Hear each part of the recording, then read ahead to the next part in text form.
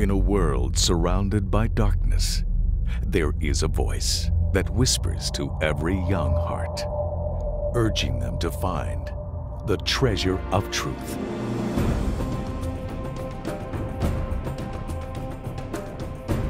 Those who follow the path will discover eternal riches beyond their wildest dreams. Join us now for an amazing adventure, a journey for life with Jesus. Good evening, friends. Welcome again to our final program in the Amazing Adventure series. We are so glad that you joined us wherever you might be at a church, at a home, or maybe at a school. We trust that this series has been a blessing to you. It's with sadness that we come to the final in this series, but it's not the end of our study of God's Word. As we have mentioned several times, we have a website, amazingfactskids.org. And for those of you who are watching, if you've missed one of the previous programs, you can go to the amazingfactskids.org website and you can see previous programs.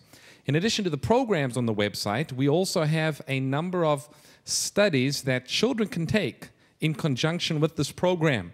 We've been talking about the new study guides that have been developed. Tonight, we're talking about a kingdom of gold. You can learn more at the website about these study guides. Check back with us at that website on a regular basis for further study in God's Word. Well, at this time, let's stand as we sing our theme song once more Life is an Adventure.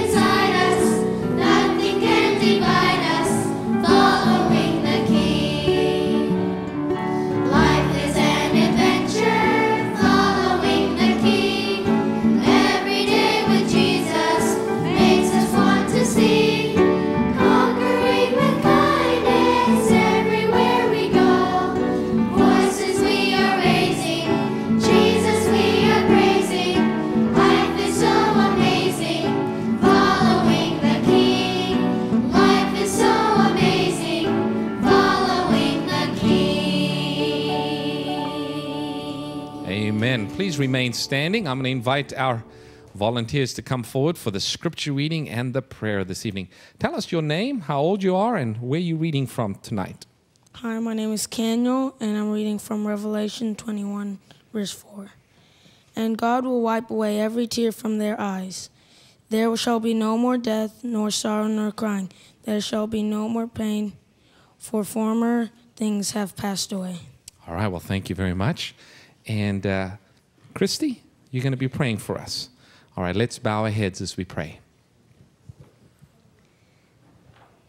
Dear Jesus, dear Jesus, please bless Pastor Doug as he preaches today, and please bless the people that are watching and that are here. And thank you for giving us this service. In Jesus' name, Amen. Amen. Thank you very much. You may all be seated.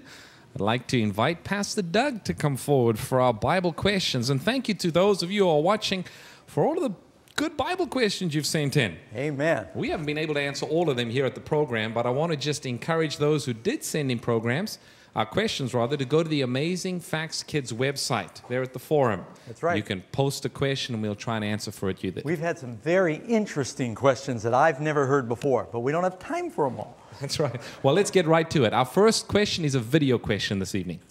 My name is Leighton, and I'm nine. And my question is How long will it take to get to heaven? How long will it take to get to heaven? I think what Leighton means is once we begin the journey from earth, how long will it be? Well, some Bible scholars believe it's going to be about seven days because there's a statement in Revelation that tells us there is silence in heaven about the space of half an hour.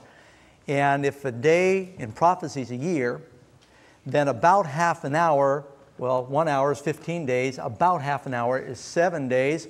And so many believe that after the Lord rescues us from this earth, that we make our way back to that city of gold we're talking about tonight, and we're going to get there just in time to celebrate our first Sabbath day there with Jesus in the kingdom. Won't that be wonderful?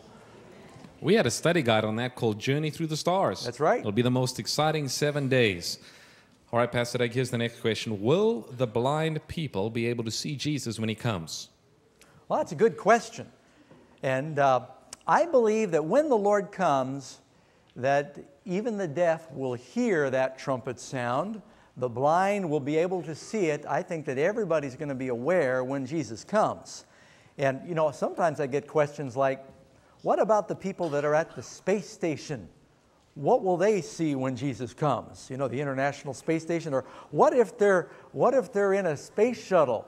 And uh, I don't have all those answers, but some very interesting questions that the young people have been asking. All right, our next question is a video question. Hi, my name is Desiree. I'm 10. I'm asked, my question is why is God taking so long to come and get us to go to heaven? All right, that's a good question because, well, think about it. Jesus said that he's coming soon. Now, compared to eternity, if you live billions and zillions of years, how long is 2,000 years? That's, that's just nothing. And see, when God said in the beginning to Adam that one of his descendants would come and he would die for the sins of the world, that God would come to earth, well, it was 4,000 years till Jesus came the first time, but he did come, didn't he? Jesus said, I'm coming again. And I think that we're right about the time now. I think this is the generation that's going to see Jesus come. A lot of things are happening. Now, it may seem like a long time, but if you live like angels, unfallen angels that live forever and ever and ever, they look down here on earth, they think, boy, this has been fast. But for us, how many of you have ever been driving with your parents in the car and you keep saying, Are we there yet? Are we there yet? It's only been one hour and you're going, Are we ever going to get there? And it's not that long. And I remember when I was seven years old thinking, I'll never live to be 10. It's forever. When Jesus comes, most people are going to think it was too soon. Pastor here's the next question somebody sent in. How can I be a good witness to my friends? Oh, that is a very important question. Don't you all want to let your light shine, be a good witness, and win other people to Jesus? The only thing going to heaven is people. You can't take your video games, you can't take your favorite uh, DVD or CD, you can't take money. The only thing going to heaven is people whose hearts are changed. So the most valuable work you can do is reaching hearts of people. You know what you do? Follow Jesus and be a good example. Study your Bible and your lessons about the Bible so that you understand the truth. So when your friends ask you questions, you can help answer their questions. I'm hoping that you have more answers now, having come to the Amazing Adventure program, so you can share your faith and pray for your friends that the Holy Spirit will touch their hearts and win their souls. Pastor Doug, we have another video question that we'd like to play at this time. Um, my name is Justin. I'm 12 years old, and my question is why did Lucifer's name get changed to Satan? Why did Lucifer's name get changed to Satan? Well, you know, sometimes a person's name is changed in the Bible because their behavior changes. Jacob, his name meant trickster or deceiver. And when he was totally converted and he was, had a new heart, he wrestled with that angel, God gave him a new name, Israel or Israel, which means overcomer. Uh, Jesus gave different names to the apostles, and so the new names represent a change of character. Well, Lucifer went from being a good angel, light bearer, to Satan, which means adversary. And he's got a bunch of other names in the Bible, like Beelzebub, the Lord of Flies. And uh, he's the deceiver, the devil, the serpent, because he's cold blooded. And so that's why his name got changed, because his behavior changed. Well, Pastor Doug, doesn't it say somewhere in the Bible that not only, well, of course, Lucifer's name got changed, but what about us? Will we get a new name when we get to heaven? Jesus says in heaven, two places in Revelation, that we get new names. And uh, how many of you want a new name? You don't like your name? You know? Hey, we're going to have to, okay, we're going to have to talk to your parents about that, okay? No, you don't have it bad. Now listen, my last name is Batchelor. I'm a married bachelor. I've been teased all my life about that. My brother's name was Falcon, that's a bird, Batchelor. And people used to call him Turkey and all kinds of things. And so some people have really tough names, but you said you knew a man whose name was Sharon. I did, yes. Probably got teased a little bit. I'm sure he did. Anyway, you'll get a new name. So maybe you and the Lord can pray about what that will be. All right, we've got our last video question then for this series. Hello, my name is Bobo. I'm eight years old, and my question is why did God create the angels first instead of creating them at the same time as people? That's a good question.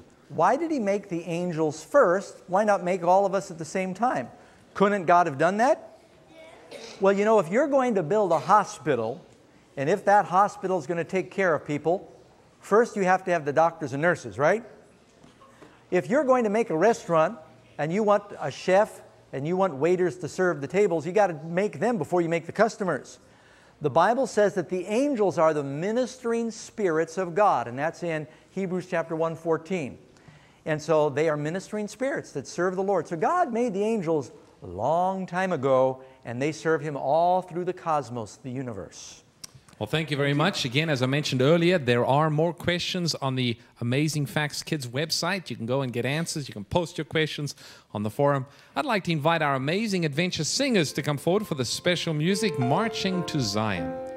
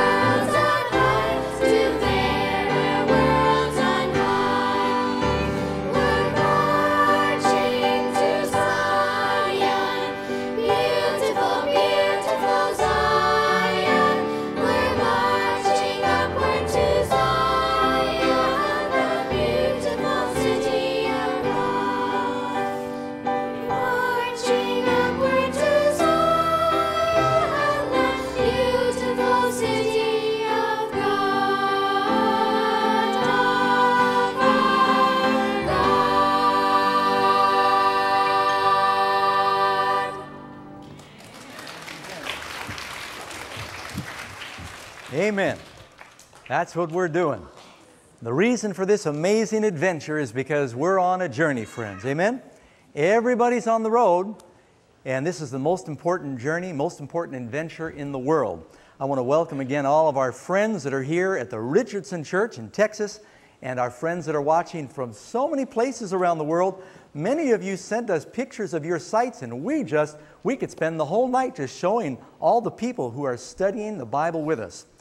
And I want to thank each of you for coming. I want to thank those who have been uh, helping produce the program. This has been a real joy and a privilege for me. It's been a dream come true because I think it's so important that while you're young, you make up your mind to give your strength and your best to the Lord. You know, the most amazing adventure is when you find treasure. And that's what our lesson is about. It's a real treasure hunt. We're talking about a kingdom of gold tonight in our study. And uh, have you ever looked for treasure before? Yeah, you know, uh, some of the Spanish conquistadors, they used to go looking for treasure in South America. They had heard rumors that there was a city of gold called El Dorado. And part of the reason for that is people like Francisco Pizarro. He had kidnapped the Inca king, Atahualpa, and uh, said that he would not let him free until his people had filled a room that was 22 feet by 18 feet by 7 feet with gold, and other rooms with silver. He didn't think they'd do it, but he wanted them to try. They did it. And that was one reason so many of these Spanish conquistadors thought somewhere out there is this city of gold. And many of them died trying to find it.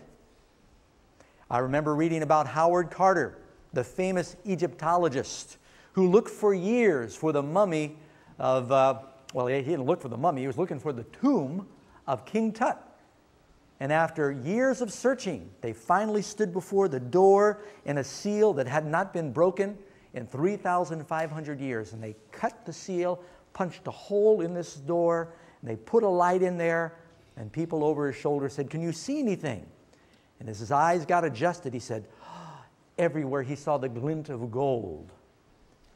Wonderful things.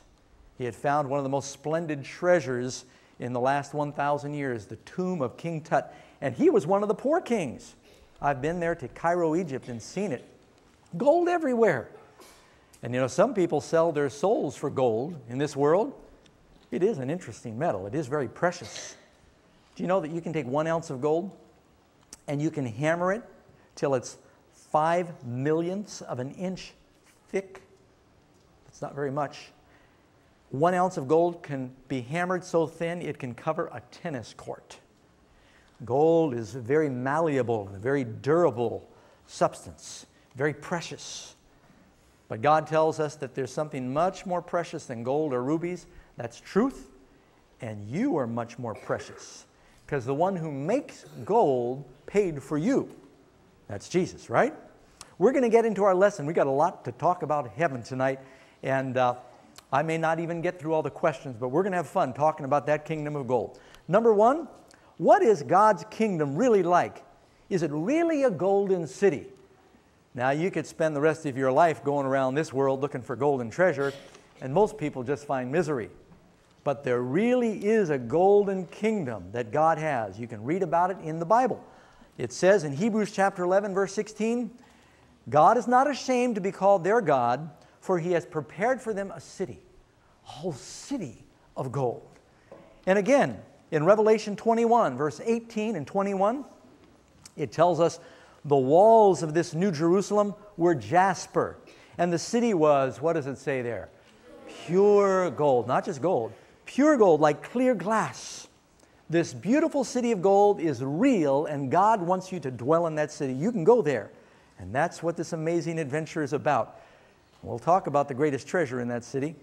The street of the city was pure gold, like transparent glass, and there were 12 gates. And these gates of the city were each one a pearl. Now, can you imagine where do pearls come from? Oysters. And so you'd need a pretty big oyster to get a pearl big enough to make a whole gate, don't you think? But God can make that. And some people think that's a fairy tale, it can't be true. You know, pearls are very precious, real pearls. I heard about a man a few years ago, um, Alan Golash in Rhode Island, digging through a basket of antique jewelry, spotted something that he thought was pretty precious, paid $14 for it, took it home, they cleaned it up, and they found out that they had found this beautiful, these Venus pearls. They're like a purple pearl called a quahog, very rare, with gold and diamonds. And someone thought that it was all artificial. It was real. He paid $14. They found out that it's worth millions. because they're these precious, rare, purple colored pearls. There you have it right there on your screen. You know, Jesus tells a parable about a merchant who found a pearl of great price. He sells everything he has to get that pearl. It would be nice to get one for $14. But if you found something that was the most valuable treasure, what would you give for it? Would you give your heart for Jesus? He's the greatest treasure of all. You might think, well, Pastor Doug, but how could there really be a city with golden streets and a pearls that big? Do you know, just this last year, uh, scientists from the Harvard Smithsonian Astrophysics uh, University, they said that in the southern sky, in the um, constellation Centaurus, they found a white dwarf star that had, it's a collapsed sun. And they said they believe the core of that sun is one diamond, one solid diamond that weighs trillions and trillions of tons. And so scientists even believe that there's diamonds out there as big as our moon. So why don't we believe the Bible when God says that He can have a gate made of one pearl? Of course He can. And of course the Lord can have a city of gold. All things are possible with God, and that's what the Bible says. The things that God has prepared for you in 1 Corinthians, you can't even imagine how spectacular it's going to be. Number two, what will happen to all of the sin and evil that's in the earth? Well, we're going to explain this a little bit. You remember when Jesus comes, we read there in 2 Peter chapter 3, the heavens will pass away with a great noise, and the elements will melt with a fervent heat. The earth also and the works that are in it will be burned up. Then the Lord catches up the saved, the dead in Christ rise, those of us who are alive get glorified bodies, and we begin this journey through the stars back to the kingdom that God has prepared, to those mansions that He's prepared, right? Are we going to need to have a spacesuit to make that trip? No. no. Maybe you think that Jesus is coming in a flying saucer. Are we going to need a spaceship like the Enterprise or something to make that journey? I don't know how the Lord's going to do it, but I believe that He's going to enable us to fly through the stars. Maybe there'll be some force field around us that allows us to breathe. I don't know. But I think we're going to be able to fly right through the stars back to the city of God. Now, when we get there, the Bible tells us that we get like a, you know, the plan of salvation has been going on just about 6,000 years here on earth. And Revelation 20 says we spend a thousand years living and reigning with the Lord in the kingdom, a thousand years in heaven resting with Jesus from this problem of sin. But at the end of that 1,000 years, God is then going to transport that city. You know, we got a space station right now. Shouldn't be a problem to believe that God can make a space city? That space city is going to go through space and it's going to come back down to this earth at the end of the 1,000 years. When the city comes down, the Lord is going to call all the wicked who have ever lived will come forth from their graves. That's the time, and after the New Jerusalem touches down, there's the great judgment. The wicked are all judged. Satan is there. Satan tries to get all the wicked to attack the city of God. And the Bible says God rains fire down out of heaven upon the wicked. It forms a lake of fire. Everyone is punished according to what they deserve. But it's not going to hurt those that are in the city. You can read in Malachi chapter 4, verse 1 All who do wickedly will be stubble. The day that's coming will burn them up. Well, how come it's not going to hurt us who are in the city of God when all around the world there's this lake of fire? Well, God builds his city pretty strong. It says the walls of the New Jerusalem are 144 cubits. I think that means 144 cubits thick, but you don't have to worry. All right, I'm going to do an illustration here. I, I, need a couple of boys for this one. I'll use a girl later. Who put your hands down if I picked you before? Okay, I just want to be fair to everybody. Young man, I've picked you two right there. You two of you, yeah. You since you're sitting together, maybe. All right. Look in the chest. One of you look in the chest. See if you can find a lighter there. Okay. And uh, we're going to do a little experiment, and you all pray for me. Oh. Okay. You got a lighter? See it? Go ahead, grab it. Grab the lighter. No, no, no, no, no, no. Not the light, lighter, right there, the orange thing. There you go. okay, now what's your name? And you're? Mikey. All right. I, I get that. You just get to grab it. Now, this is heavy, okay? You got to hold this like that. Don't drop it. Can you hold it? Don't drop it. It's going to ruin everything. All right, you hold yours the same way. Hold your balloon. Okay. Is that getting heavy? All right, hold your balloon up there. Wonder what's going to happen. All right, let's see here. Don't don't move. Don't move. Hey brother, we're counting on you. Don't go anywhere. All right. Don't move. Don't move. What's going on here? Do you feel the heat from that? But it's not popping the balloon. Why not? Now I'm going to take that from you before I push my luck. Thank you very much, gentlemen. Now let me tell you what we just saw. You can go down now. Thank you very much. Two balloons, both red balloons. Put a match under both balloons. One blew up, one didn't. Why? One, you all know, of course, everyone here knows what a water balloon is. It had something special inside that made it indestructible to the fire. If you've got Jesus, the living water inside of you, you don't have to be afraid of what's going on out there, do you? It won't hurt you. So don't worry about that. You just make sure you've got Jesus and God's Spirit in you. Question number three What does God promise to do then? After all the wicked are destroyed, we then get to watch Jesus make a new heavens and a new earth. It says there in 2 Peter 3 according to his promise, we look for a new heavens and a new earth wherein dwells righteousness. That city is going to be pure because the first heaven and the first earth is all passed away. And the word heaven there means the atmosphere around the earth. It's going to be fresh new atmosphere, a new world, and you'll get to watch the Lord make it all. Number four, will this golden city be up there in heaven out in the sky, or is it going to be back here on earth? The Bible says, remember the words of Jesus, Matthew 5 5? Blessed are the meek, they will inherit the sky. The earth. So ultimately, God's plan was for Adam and Eve to live here on this beautiful planet. The devil messed things up. Do you think God is going to let the devil permanently mess up his plans? God's plan was for people to live on a beautiful paradise here on earth. He's going to recreate it, and God's going to do what He originally planned to do, except it's going to be even better. God's going to make everything even better than His original plan. Bible tells us, Revelation 21 2, I, John, the apostle said, I saw the holy city, the new Jerusalem, coming down out of heaven from God. There's a lot of misconceptions out there about what heaven's going to be like.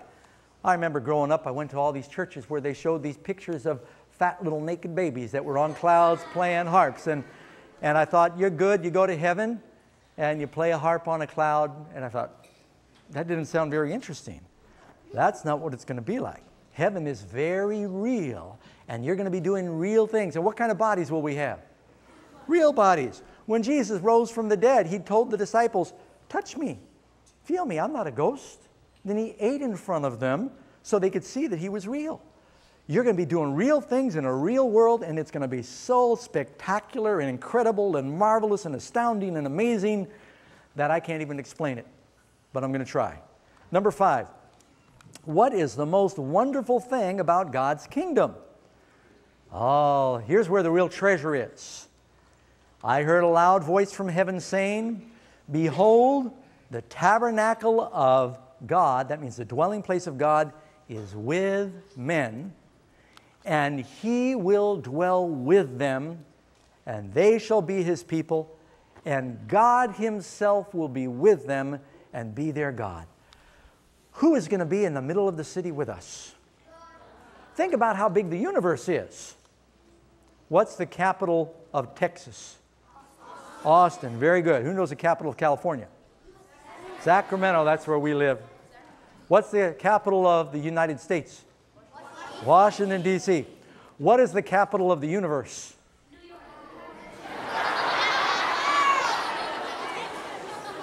Just in case you didn't catch that, friends, some young man said New York City. But uh, no, not, not, New York's not the capital of nothing. Albany is the capital of New York City.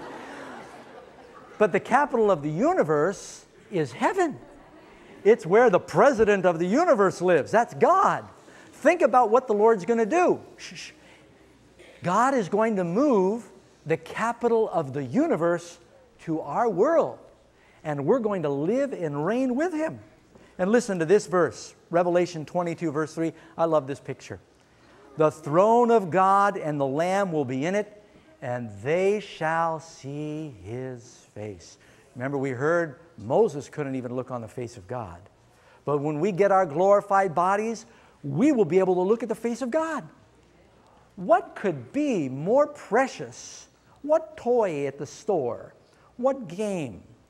What fun amusement park could be more precious than being in the presence of the one who made the universe? That ought to make your heart beat a little bit faster. And you know what else? You'll have special powers then too. You can read in Isaiah chapter 40, verse 31 But those who wait upon the Lord shall renew their strength. They shall mount up with wings like eagles. Have you ever sung that song, Rock of Ages? We will soar to worlds unknown. You'll be able to fly. Won't that be? And you won't need a 747 to do it. That's one of the things that really excites me about heaven to be able to fly to other worlds and be an ambassador for God. It's real. Okay, I need to illustrate something here. Um, who, if you had a chance, yeah, let's put your, put your hands down if you've already had a chance. You haven't had a chance yet, young? All right, come on up here for a second. Have you had a chance? Yeah, no, yes? Have you been up here? No? All right, come on up. Done? Look in there. See if you can find, what's your name? Oksana. Oksana? See if you can find some worms in that chest here.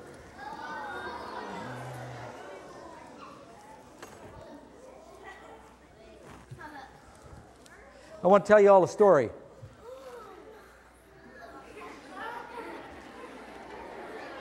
Okay. Hey, come on over here with your worms here. Once upon a time, there was a fox, and he wanted to eat this bird, but uh, the bird was too fast for him. And one day, when the bird was out pecking around looking for worms, the fox said, I know the best place in the world to find the fattest worms. He said, I'll make you a deal. He said, If you give me one of your feathers, they're beautiful feathers. You got the most beautiful feathers. If I could have one of them, I think that'd be great. Said, I'll give you a fat worm. And the bird thought, oh, I got lots of feathers, and they are kind of beautiful. He said, uh, All right, I'll give you one feather. So, all right, you go ahead, take one feather out, give it to the fox. All right, give me a worm. One worm. He, he would wait. The fox had to put the worm down because you don't want to get too close. And so then the bird would, and he'd swallow it. I'm not going to do that. And he said, boy, that was really good. Next day he's hopping around pecking. Fox says, you know, that feather looks so good in my house. I said, I sure wish I could have another one. I got a really big worm. And he said, yeah, I got lots of feathers here. And so he said, all right, yeah, you can take one more. And he said, got another worm. You can take two, it's okay. Give me two worms. Let's just be fair. all right. And so then he ate his, his gummy worms. And this happened all summer long. And he kept trading worms. Give me a handful of worms. Watch those feathers, they're dangerous. Okay. And you go ahead, you take, you take, uh, take, take a few more feathers. Just leave me at least one. Leave me at least one feather. There you go. Boy, you didn't leave me very much. Thank you very much. And now you know what happened. Finally, it got cold, and it was time for that bird to fly south with the rest of the family.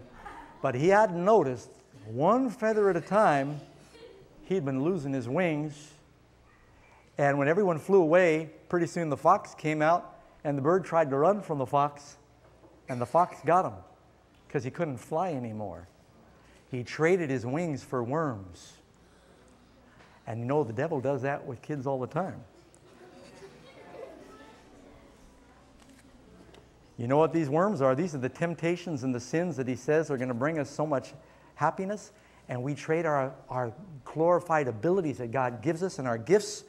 And tell you what, you can, you can take those feathers there and uh, let me see here. Share a couple with him. That's all I got. and just don't play with them during the program. You understand the point of that. The devil is trying to take the kingdom of heaven from you one worm at a time. You can be able to fly there and mount up with wings like eagles. Number six, what other wonderful things does God have planned for us in His new kingdom? The Bible says in Revelation chapter 21, verse 1, it is a new heaven and a new earth, and there's no more sea. There's no more briny salt water. It's all fresh water that will be separating people. The desert will blossom as the rose. There's no more curse in the land. All right, I can use a girl now. Let me see here. If you haven't had a chance yet, chance? Haven't had a chance? Okay, I see some back here that, uh, okay, you can come.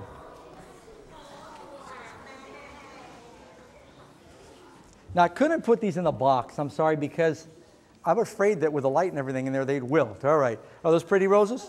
Yeah. Do they look like real roses? Yeah. Do they smell like real roses? Yeah. Yeah. Is there something unusual about those roses? This. Well, I know that's not normally how you give roses away, but uh, let's keep looking. What's the normal problem you got with roses? Thorns. These roses have no thorns on them. So you hold that bottle real tight. Let me see if I can get one of those out of here. These are real roses. Ooh, I don't want to hurt it. Look at that. They have no thorns on them.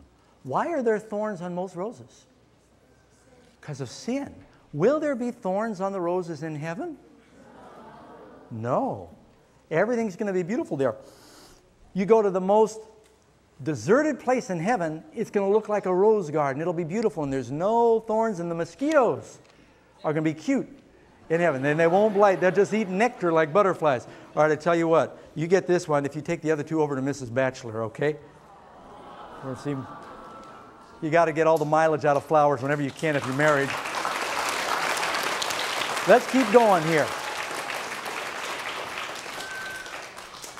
You know, if you bring a pretty girl up and give her a rose, you better give two to your wife.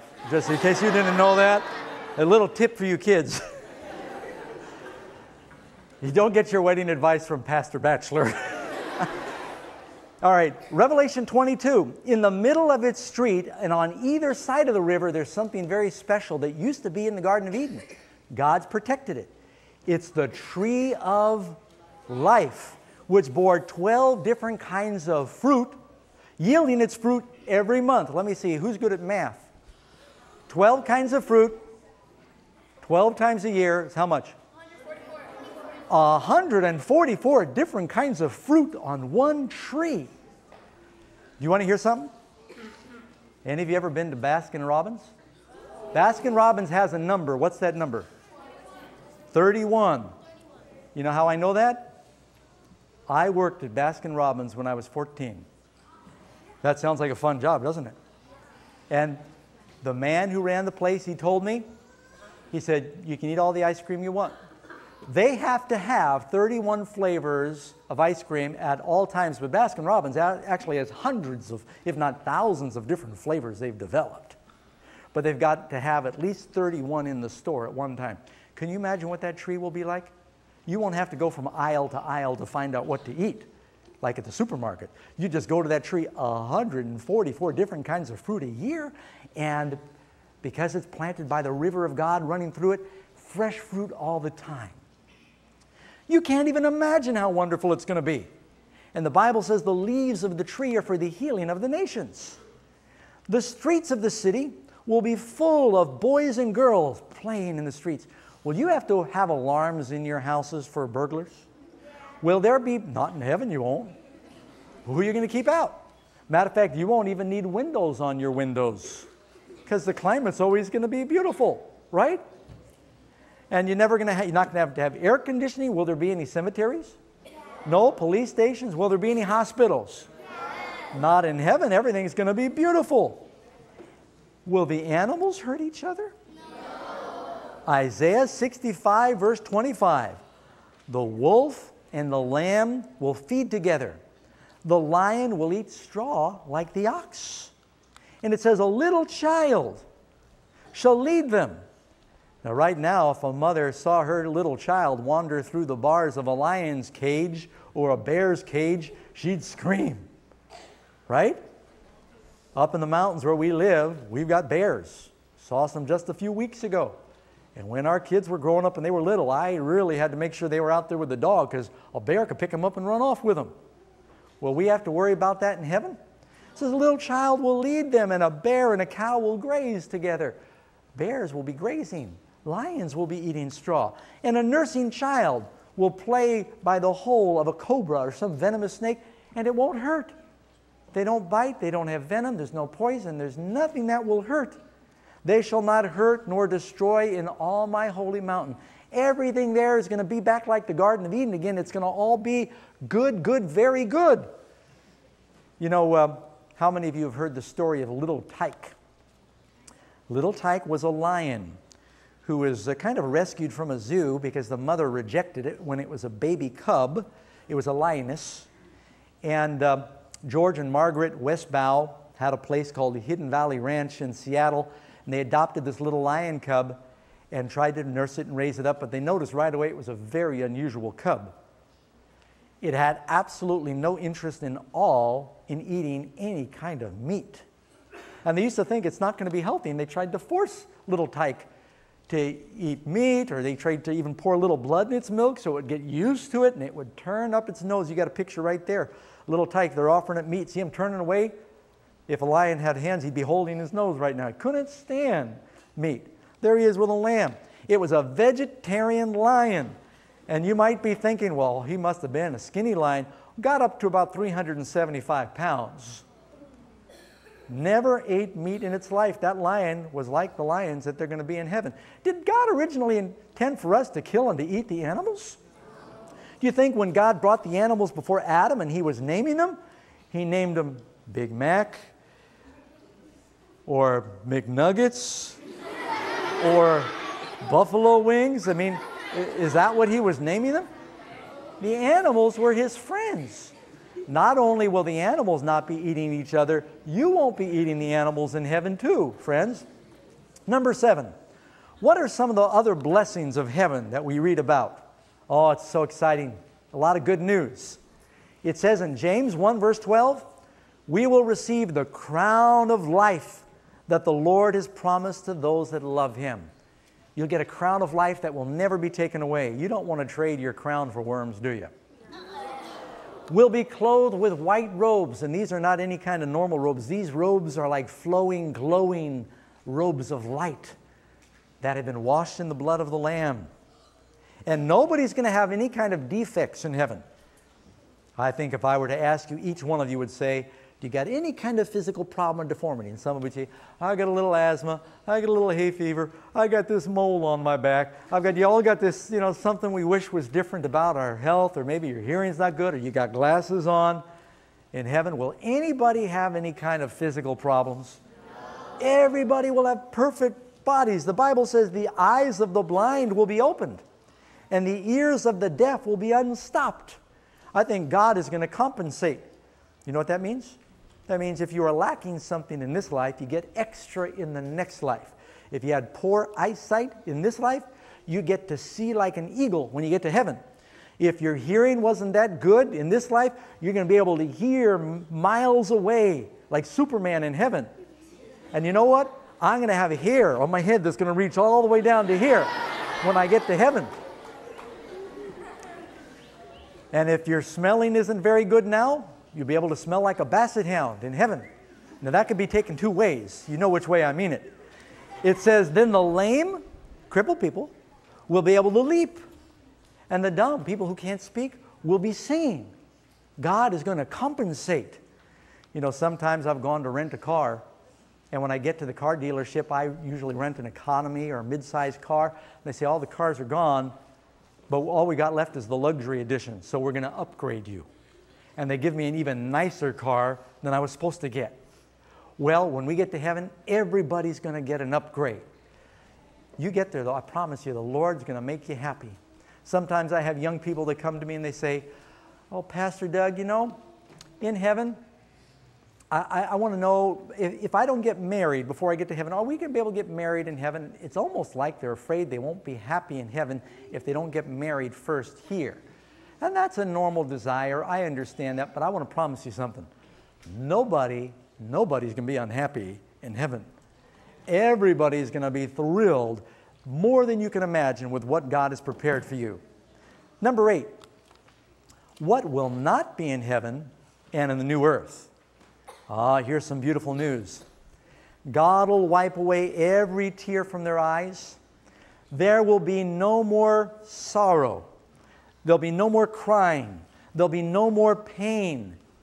You won't ever have to worry about falling down and skinning your knee or breaking a bone or having an accident because some angel forgot to put his turn signal on and he ran into you. You won't have to worry about that heaven because God's Spirit and His angels watch over everything that happens. And you'll be able to lay down in the woods and not be afraid, to have peace all the time and never worry. Your future will be secure, not for one day or two days, but you'll know that a million years from now, you have nothing to worry about. Can you imagine what that would be like? To know that every day is going to be better than the day before, and it's going to keep getting better and better and better all through eternity. The Bible says that it's going to be a place of purity. There shall by no means enter into it anything that defiles or causes an abomination or a lie. Everything and everyone in heaven is going to be perfect and pure. That's why we need to ask Jesus now to wash away our sins, to purify our minds, and we need to cooperate with Jesus.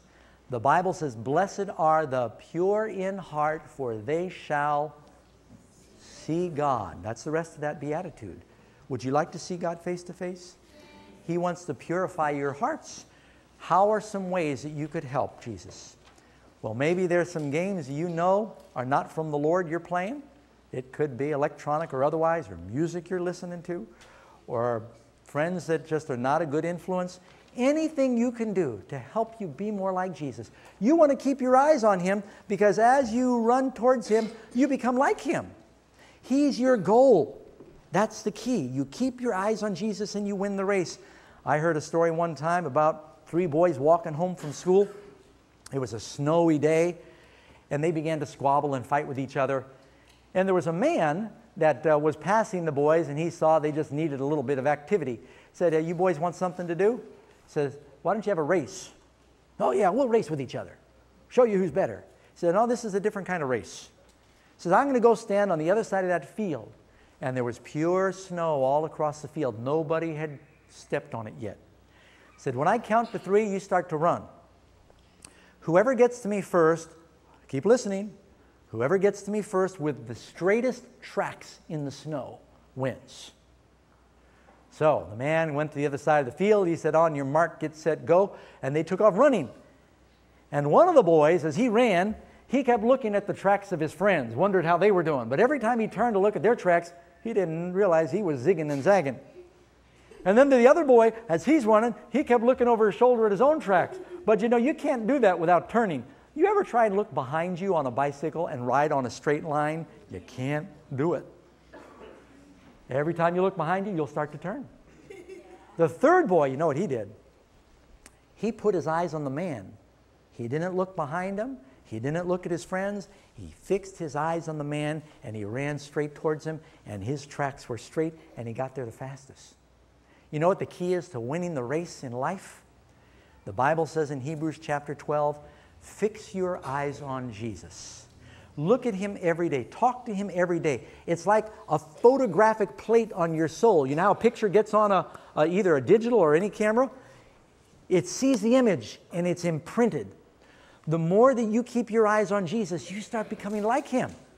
So anything you're watching, you're watching the wrong kind of programs, things you're listening to, even the food you eat can affect what you become like. They say you are what you eat. You wouldn't want to be gummy worms, would you? So you fix your eyes on Jesus and you begin to become like him. Number nine, Does Jesus want me there? And how can I be ready?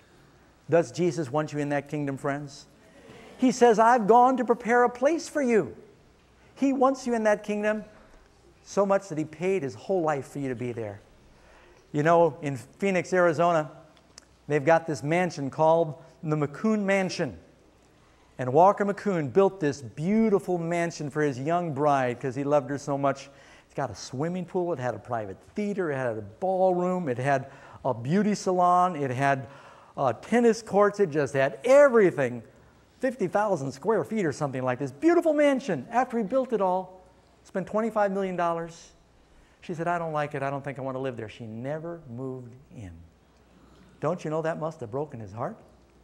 How do you think Jesus feels when he says, I've gone to prepare a place for you? And we're so busy with the things of the world that we don't want to get ready for his mansion that he's prepared. Don't you want to live in that beautiful mansion that Jesus has prepared? You know, this world is a strange land. There's a devil here, there's a war going on. And the only way to get to the kingdom is to fix our eyes on Jesus, to go on that amazing adventure towards him. I heard about a little collie, little collie named Clancy. Family had him since he was born till he was six months old, but then they had to move from Buffalo, New York to Michigan City, Indiana, about 500 miles, and they couldn't take him to their new home, so they left him with some neighbors. But Clancy didn't know the neighbors, and he'd been with this family his whole life, and he missed them desperately. He took off and ran away first chance he got. Six months later, the family heard scratching at their door in Michigan City, Indiana, and they opened the door, and there was Clancy, a little skinny. His paws were a little worn, but he was so happy when he saw them, and they were so shocked to see Clancy. It's a true story. Went 500 miles, that puppy. They don't know how he did it. He must have had some amazing adventure, but all he could think about was getting back home. And he went inside their house. He went right past them. He saw his favorite rug, and he curled up on the rug, took a deep sigh, and went to sleep. He had some adventure. Do you want to be with Jesus in his home? He wants you there, but you've got to make a decision to come to him. How many of you would like to say tonight that you want to put Jesus first? Do you want to follow him and trust him and get to that golden kingdom? Matter of fact, I want to have special prayer with you and all of our friends. We've made a lot of friends around the world watching. Let's stand together and I want to have a prayer. The Bible says Jesus stands at the door and knocks, and he wants to come in. Would you like for him to come in? Let's all close our eyes, bow our heads, those who are watching. I want to pray with you. Father in heaven, we're so excited when we think about the kingdom of gold that you've prepared, those mansions, all the wonders and the glories of heaven. Lord, we want to be there. Work miracles in the lives of each of these young people here and those who are watching. Help them to know what they can do to lay aside any weights that prevent them from running that race and being in your kingdom. Pour out your spirit in each heart, in each family, and help us be ready for that amazing adventure. We ask in Jesus' name. Amen. I want you to remain standing. We're going to sing our theme song together one more time. How many of you have caught yourself singing this, kind of humming it? A little bit catchy, isn't it? I want to invite our singers up. Those who are watching, let's stand.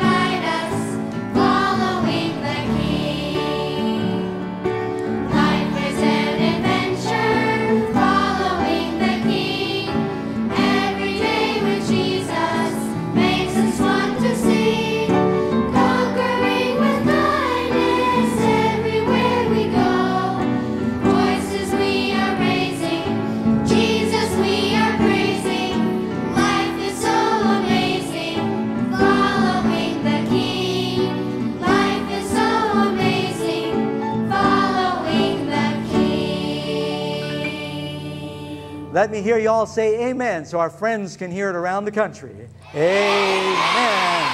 Are you going to serve Jesus first? Yes. Going to give him your heart. Amen? You too, friends who are watching. For more information or to follow up with this series, amazingfactskids.org. God bless you. The escalation of terrorism, global instability, crime, violence, and natural disasters indicate our world is plummeting toward its final hour with destiny. Who will survive the final events of Earth's history? Does the Bible give any answers? Pull back the veil of uncertainty. Know the future today. Join us as Amazing Facts presents BibleUniverse.com. This stellar website will guide you to places you've never been before and answer many questions you have about Bible prophecy. Discover what the Bible says about the rapture, the mark of the beast, and Armageddon. Journey into the future and explore the mind and will of God at BibleUniverse.com. Expand your universe today.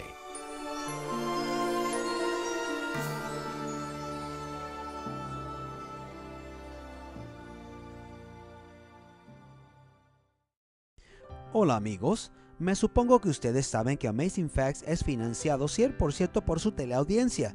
Si estos programas han sido de bendición y aliento para ustedes, nos encantaría escuchar de ustedes. De la única manera en que podemos mantenernos en estas estaciones es si ustedes se comunican con nosotros y nos dejan saber. ¿Por qué no enviarnos una nota o visítenos a nuestra página web amazingfacts.org para enviarnos una nota de ánimo y apoyo financiero para mantenernos en el aire?